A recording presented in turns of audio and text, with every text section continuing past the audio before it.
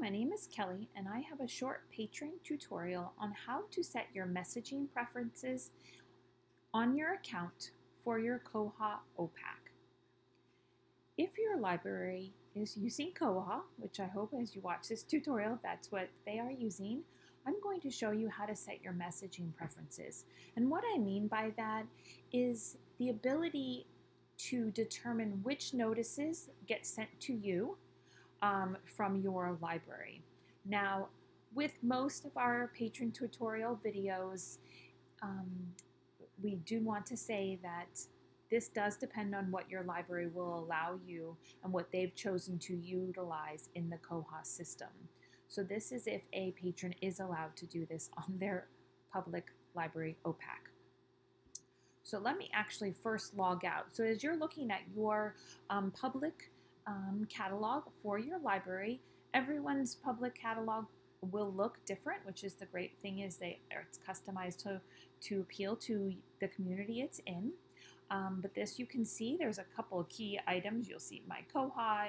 You could have a library logo here, but you you will usually have one or two places to log in. Up here at the top right hand um, area, or there's going to be another login box, or there could be both.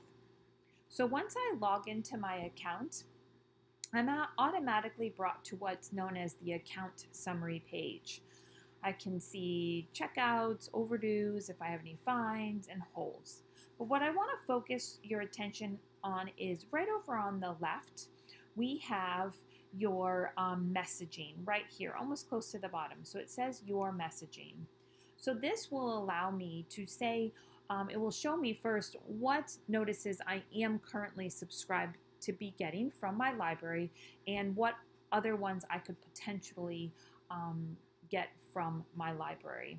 So I have an item due notice and that can be sent at my library through an SMS, so my cell phone, um, an email, and digest only. So I have it set for email and digest only, which means it will just send me a group of um, items at a time. It won't send me one individual item at a time. So the day it is due, I will get an email in digest form.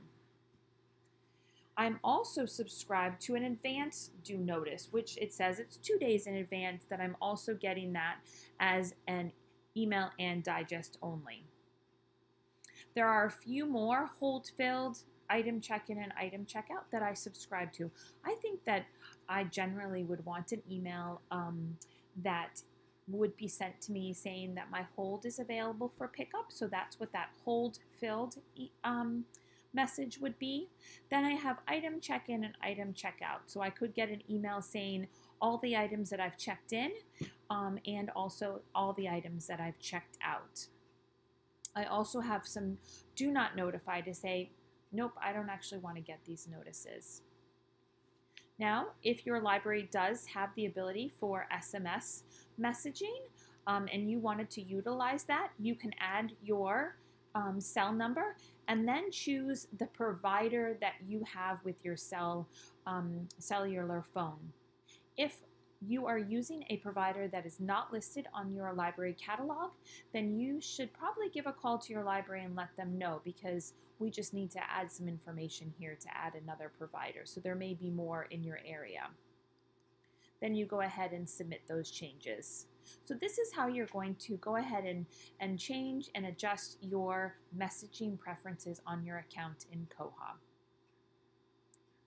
Thank you for watching. This has been a tutorial by ByWater Solutions.